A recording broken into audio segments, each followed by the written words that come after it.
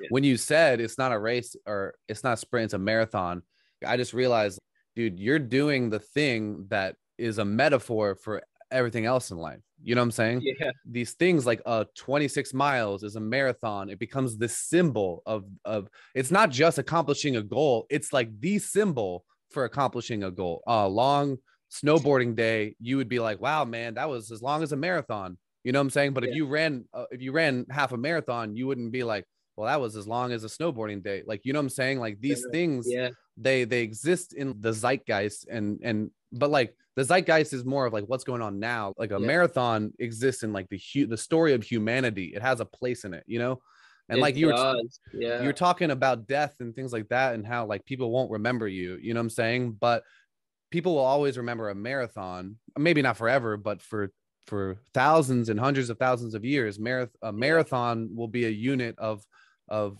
of not just distance but like an accomplishment you know what i'm saying? And and people might not remember you but you get to tap into something that is like spiritually like in the story of of, of humanity you know what i'm saying?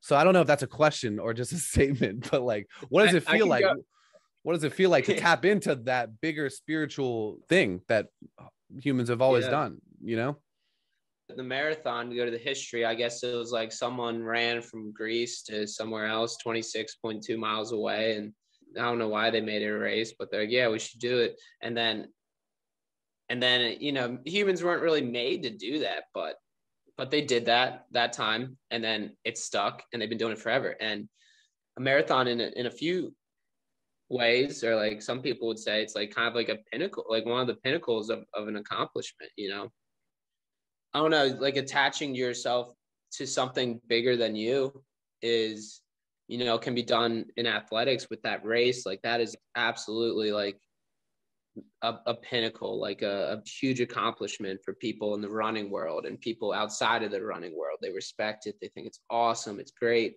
And similarly, like you can attach yourself to different things that that thing is bigger than you and will keep a bigger legacy for you you know Mm. like you go to school at harvard guess what that's like an institution that's so prestigious going to be around forever you are like kind of attached to that really big thing causing you to have a bit more of a legacy because it's something bigger than you you know Mm. so that's what I kind of feel like. I kind of feel like I'm in this group of people.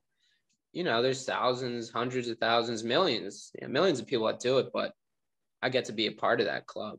You know, whether Mm. I ran fast, slow, or whatever, you have that connection to that bigger accomplishment and, and that bond. You know.